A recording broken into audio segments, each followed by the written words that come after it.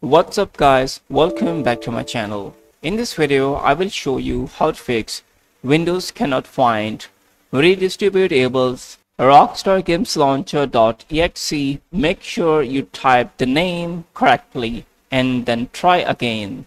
Let's get started.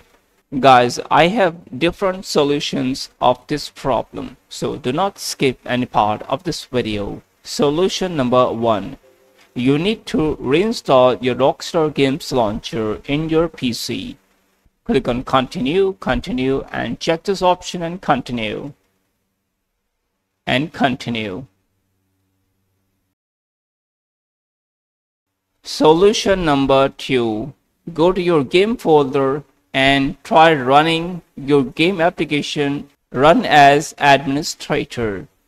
Solution number 3 go to Gameface folder and go to binaries folder and go to win64 folder.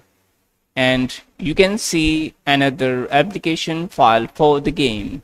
You can open your game with this application in your system.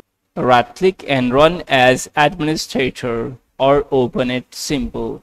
As you can see it's working